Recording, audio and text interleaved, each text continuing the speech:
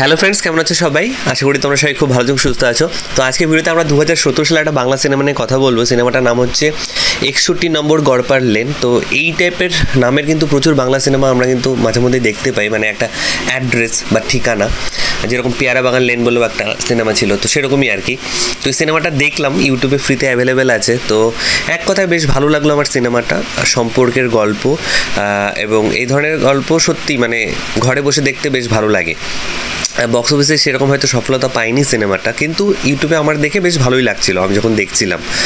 তো সিনেমার ডিরেক্টর দুজন আছেন ইপসিতা ম্যাম এবং রাজেশ স্যার, তো দুজনে বেশ ভালো প্রচেষ্টা করেছেন এবং মিউজিক ডিরেক্টর নচিকেতাকে একটা আলাদা হ্যাটসঅপ জানাতেই হবে, কারণ যখন যখন গানগুলো হচ্ছিল, গানের কথাগুলো এত রিলেটেবল এত প্র্যাকটিক্যাল মানে আর কি বলব, এবং গল্পটাও যথেষ্ট প্র্যাকটিক্যাল আমি বলব না যে খুব হাইফাই লেভেলের একটা সিনেমা বানানো হয়েছে।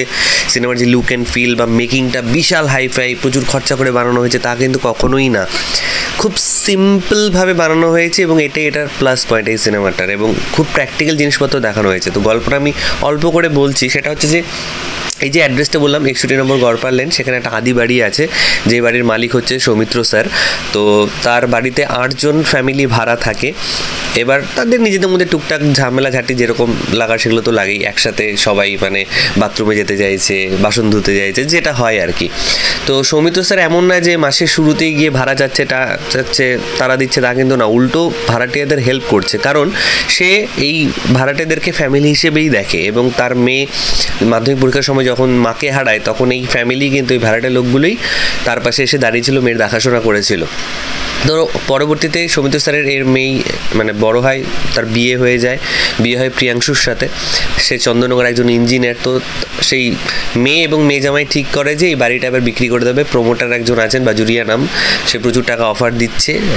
বলছে ফ্ল্যাটও দেবে, তার সাথে নগদ কিছু ক্যাশও দিয়ে দেবে। তো সৌমিত্র স্যারের অবর্তমানে কি হবে, না হবে, তাই না? তো এই নিয়ে সৌমিত্র স্যারের সাথে একটা ঝামেলা ঝাঁটি চলে, মেয়ে এবং মেয়ে জামাইয়ের। সৌমিত্র স্যার মারাও যান ছবির মাঝামাঝি সময়। বেশি সময় নেই। সৌমিত্র স্যার অল্প সময়ের জন্যই আছেন কিন্তু মানে এই ধরনের লোকগুলোকে আর কি বলব? মনোজ মিত্রও আছেন ভাড়াটে হিসেবে তো। তারা মানে দু মিনিট, পাঁচ মিনিটও যদি স্ক্রিনে থাকেন না মানে ম্যাজিক করে দেন কিছু একটা। তো ভাড়াটেদের চরিত্র যারা যারা করেছেন, তাদের মধ্যে খরাজ মুখার্জি স্যার, সুজন মুখোপাধ্যায় পুষ্পিতাদি সুদীপ্তাদি চান্দ্রী ঘোষ ছোট্ট একটা রোল করেছে, কিন্তু তার ক্যারেক্টারটা বেশ ইন্টারেস্টিং লেগেছে এবং চান্দ্রীদি খুব মানে মানে পারফেক্টলি রোলটা প্লে করেছেন। এবং ডিরেক্টর ডুও আই থিঙ্ক একটা বা দুটো সিনে তারাও অভিনয় করেছেন।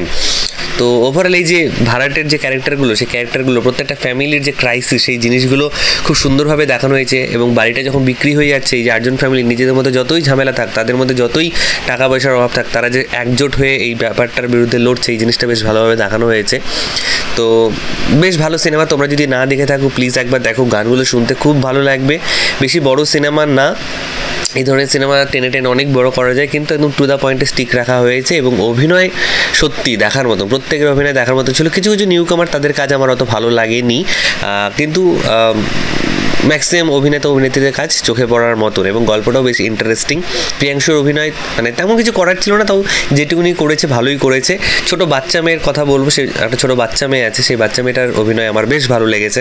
তো ওভারঅল তোমরা যদি কেউ সিনেমাটা না দেখে থাকো ইউটিউবে ফ্রিতে অ্যাভেলেবেল আছে, দেখতে পারো, ভালো সিনেমা।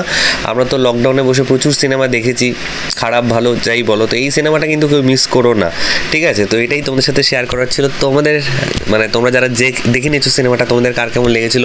নিচে কমেন্ট সেকশন অবশ্যই লিখে জানো। যারা দেখোনি তারা প্লিজ গিয়ে দেখো। তারপরে সে নিচে কমেন্ট সেকশনে লেখো কার কেমন লেগেছে বা এই ধরনের যদি আরও কিছু মুভি থাকে ফ্যামিলি ওরিয়েন্টেড ড্রামা গল্প ফ্যামিলি ড্রামা প্লিজ নিচে আমাকে কমেন্ট সেকশনে সাজেস্ট করো। কারণ এই ধরনের সিনেমা তো খুব কম তৈরি হয় আজকাল। হাতে গোনা কিছু তৈরি হচ্ছে। এই টাইপের সিনেমা যে টাইপের সিনেমার কথা বললাম আর কি। আগে এক সময় হতো, ছোটো বউ, বড় বউ, মেজো বউ, তাই না? তো ঠিক আছে বন্ধুরা, ভালো থেকো সবাই, সাবধানে থেকো সবাই love you all take care